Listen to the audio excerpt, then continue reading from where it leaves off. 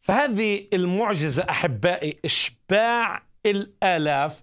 لاحظ أنه بطرس لما شاف الموضوع وهذا يهودي والمعجزة أمام يهود يعني اللي كانوا محافظين على الشريعة. مش نيجي بعد كم قرن نحاول نصحح الكتاب المقدس بدون الأدلة آية يتيمة ممكن أو بدون الدليل. حاشا ما تكذبش الله لأنه بتقع تحت دينونة أمام الله.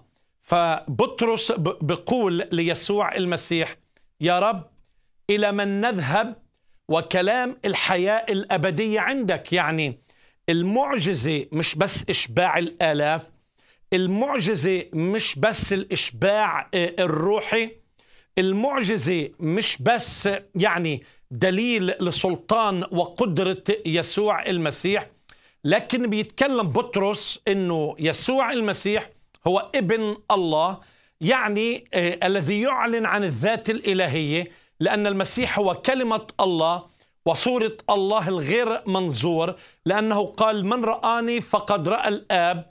يسوع المسيح اللي صنع الآيات والمعجزات اللي أظهر الأعمال الإلهية والمحبة الإلهية بشكل خارق.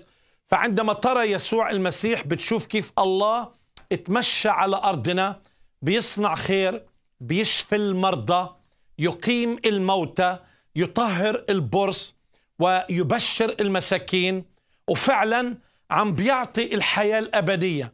وإعطاء الحياة الأبدية هل هي من مميزات أي شخص ما ولا هي من مميزات يسوع آه المسيح؟